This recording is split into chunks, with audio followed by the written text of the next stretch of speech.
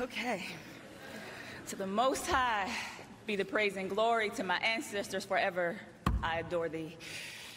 Thank you to Jerry Colangelo, to the Naismith Basketball Hall of Fame, to the selection committee, to Isiah, Geno, Spoon, Ketch, and Tina presenting me today, and congrats to my 2022 class members. As a young girl growing up in McKeesport, PA, I fell in love with the game of basketball because of my family. See, if you know me, then you know I come from a really big family. My mom, Cynthia Cash, is one of 12. I had 75 first cousins, and that was the count back in the early 2000s. True story. Uh, growing up in the Harrison Village projects not only molded me as a player, but also into the woman I am today. We didn't always have it all as a family, but I watched my mom, stepdad, aunts, uncles, family, friends, people in the community, even guys on our street corner, do the best with what they had. See, you all, or Yens as we like to say in Western PA, Coach Carr know what I'm talking about there. You may look at me and see a polished woman in front of you today, but I promise you, I'm the product of God's grace, prayer, hard work, mental toughness, and that was formed by watching my mom daily. It was formed.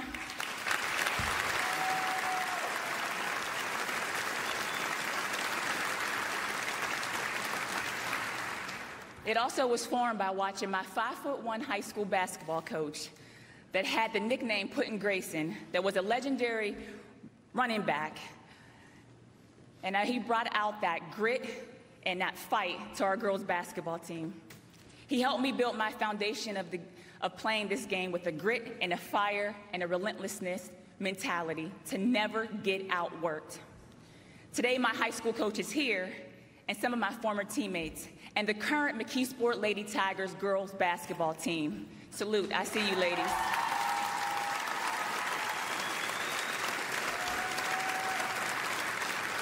And also representing the state of Pennsylvania, PA Senator Jim Brewster. Thank you for being here. Also, a special thank you to my Pat Bob Gallagher that couldn't be here today. Thank you for showing me that kindness and genuine love look like from the very moment we met each other. You always said, number 32 on the floor, number one in our hearts. I love you, Paps. One of the best decisions I made was attending the University of Connecticut with Tamika Williams. Oh, Blee Blue, I see y'all in here. With Tamika Williams, now Tamika Jeter. Asjha Jones, and Sue Bird. There's not much that I can tell you three that I haven't personally already said to you. But what I will say is this since I got the stage. I wouldn't have traded our experience in college for anything. We were the wave, we were the culture. And if anyone's debating the greatest college basketball team ever, ask about us.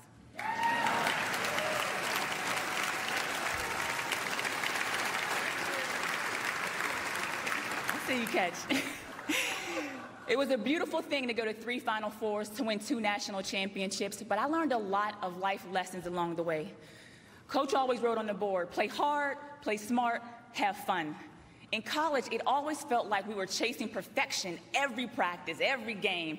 It was an unrealistic pursuit, unrealistic pursuit, coach, of a bar that was set so high and it felt like it moved up daily.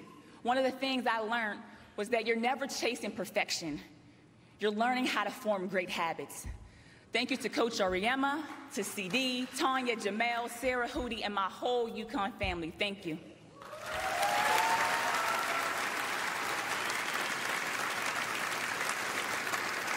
Being, being drafted by the Detroit Shock changed my life. I remember on draft night meeting Adam Silver when he was the president of NBAE. Lord knows I'm getting old. Oh. Adam, I always appreciated your kindness and consistency throughout my career. To my NBA and WNBA family, especially Bonnie, Todd, Kathy, Leah, Jimmy, you all know how much I, you mean to me. And I'm sure I'll be getting a lot of mean texts from people that I did not mention, but I love you all. to my WNBA, WNBPA family and NBPA family, especially Latoya, Krissa, Jane, Tamika, Michelle, thank you all so much. I also want to thank to my agents over the course of my career, the Cowan Group, IMG, and WME. My 15 year, you can give applause. They did a really great job, trust me, y'all. You gotta remember, I was asking them to do stuff that 10 years ago wasn't getting done, and now those new deals, Mike, I know you're trying to get some younger girls. All right. Um, my 15 year career brought me some of the best memories and best times in my life. First, shout out to the Pistons and Shock organization that is well represented tonight. Being coached by Bill Laimbeer was fun. Yeah. I will say this I'm probably one of only three people that ever saw Bill Laimbeer shed a tear after tearing my ACL in 2004. I know I was devastated at the time, but in that moment, I just want to thank you, Bill, for showing a side of you to me that literally nobody in this room believes exists. I appreciate the journey, Bill. To the city of Seattle, the Force 10 Hoops, uh, sorry, the Force 10 Hoops organization, uh, to my OG7 girls, to Chicago Sky, Atlanta Dream, and all of my teammates throughout my career, thank you, thank you so much. Lastly, thank you to the New York Liberty, and no one epitomizes Liberty and New York basketball more than Spoon. Salute.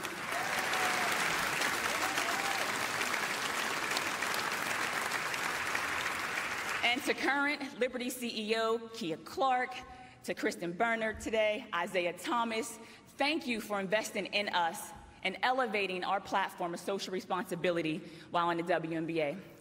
I've had unforgettable championship runs, amazing sponsors. Shout out to Ray Pond, Eileen Hauser, Nike, uh, Nico Harris, and Colleen Wilson. And to my USA basketball family, it's been a blast bringing home a few gold medals with some of my closest friends and women that inspire me, especially these two killers to the side of me, Ketch and Tina. Thank you.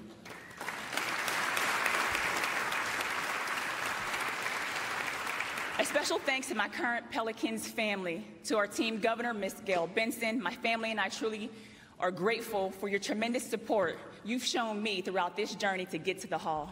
And to David Griffin and Trajan Langdon, as our guys say, you already know, let's keep building. To my family now. Oh, y'all can give it up for the Pelicans. We coming.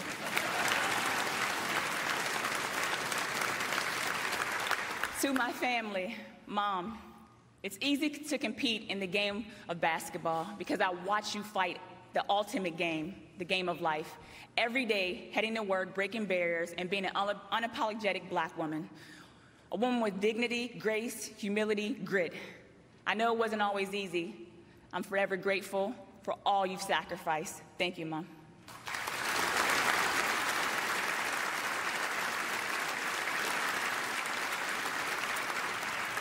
To my brothers and sisters, dad, step parents, coaches, teammates, fans, my entire support system from around the world, from the Key Sport here today, the endless support, thank you.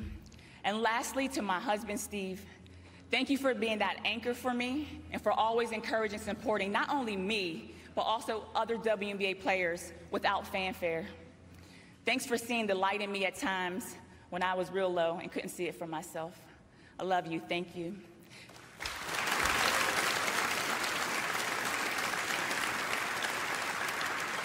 And to my two heartbeats, Saint and Sire, one of them sleeping and the other one sleeping in the hotel room. we'll run this back when they get a little older. They're only five and one. I love you two more than life itself. You are my why. This world is your playground, and as long as I've got breath, your right to grow, thrive, and ascend will be your dad and I's duty to protect. Take up space, young kings.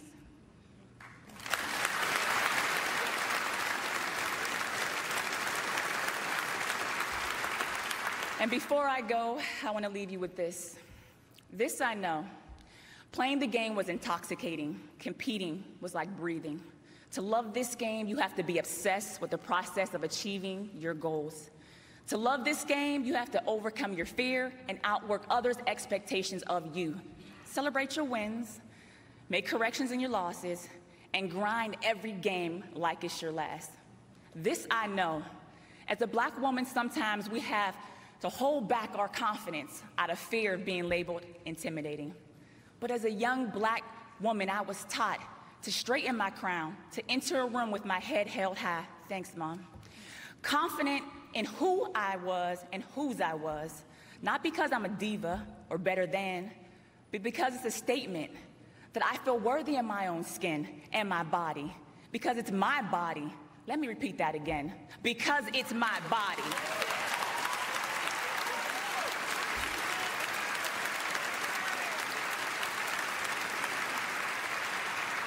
because it's my body and I won't be boxed in.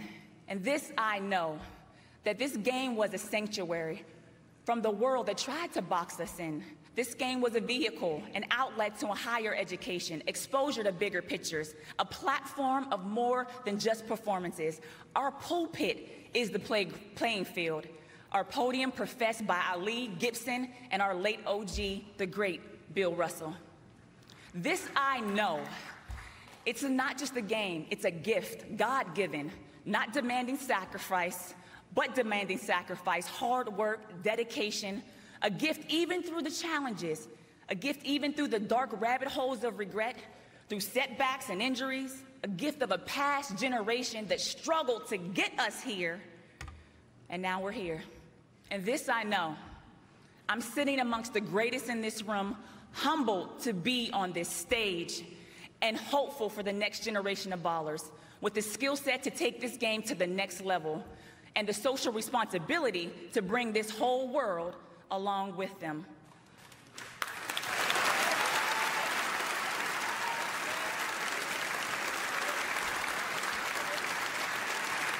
Hopefully, hopefully these young girls see pathways I didn't see, pull from the game what I couldn't, and then pour back into the game more than I have.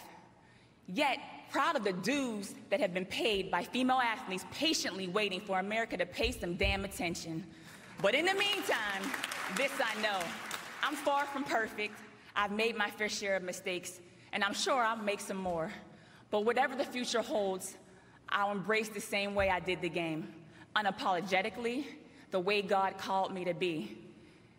And the whole time I'll know Giving my all was required gift to the game, and the game forever was a gift to me. God bless.